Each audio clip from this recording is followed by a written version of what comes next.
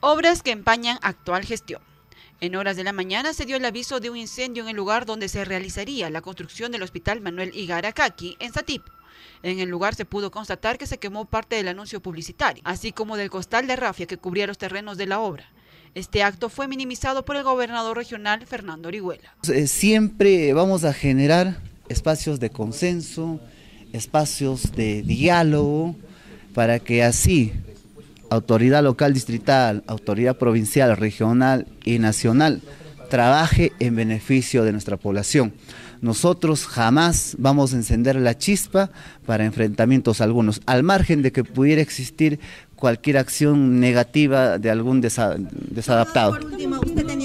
Esta obra entró en controversia al cambiar el lugar de la construcción del hospital, lo que puso en disputa al alcalde de la provincia de Satipo y al gobernador Orihuela por definir el lugar de la ejecución del proyecto. Por otro lado, la nulidad en la contrata con el consorcio Huanca por la mejora de la obra JU 103 Tramo y Tarma ha conllevado a que se anuncie una paralización y protesta para el 20 de enero por ambas provincias, con la finalidad de exigir el cumplimiento de las fechas programadas y la ejecución de la obra. Ah, lo tenemos claro, lo hemos socializado en varias oportunidades, la última fue acá en el gobierno regional con el señor alcalde provincial de Tarma, el señor alcalde provincial de Jauja, de los distritos y actores de la sociedad civil donde claramente han respaldado la decisión que ha tomado el gobierno regional de declarar nulo este contrato con esta empresa tramposa que a través de documentos falsos ha llegado a adjudicarse una importante obra. Existe un plazo hasta fines de febrero para la entrega del informe que deberá realizar el Comité de Infraestructura sobre los presuntos actos de corrupción que denunció la empresa.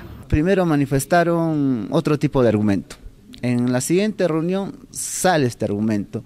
Nosotros, en este caso, eh, y como máxima autoridad, exigimos a que la empresa contratista con su representante legal haga las denuncias como corresponde, con medios probatorios, y nosotros también inmediatamente vamos a tomar las medidas correctivas de ser el caso ¿no? de corregir eso y hacer las denuncias eh, penales como corresponde a cualquier servidor público que pudiera haber incurrido en cualquier acto de corrupción. En este caso no se teme llegar a un arbitraje en absoluto, porque si se llega a un arbitraje, eso no detiene el proceso de licitación. Mientras que en el caso del Instituto Regional de Neoplásticas, ello en Concepción, aún se debe esperar a que se inaugure para la atención a los pacientes. Según detalló Orihuela, en febrero se dará este acto y de forma progresiva se trasladarán a los pacientes que padecen de cáncer del Hospital Carrión al IREM y las atenciones en consultorios externos se daría con normalidad. Para el mes de febrero de poder inaugurar. En este momento el IREN ya está en operación y funcionamiento, capacitando a sus recursos humanos, pero ya la inauguración para un servicio a nuestros pacientes que padecen cáncer se va a dar en el mes de febrero. Aunque ello aún continúa en investigación las contratas presuntamente irregulares de trabajadores y proveedores. A lo que manifiestas, eh, sean informado de que no ha existido ninguna irregularidad.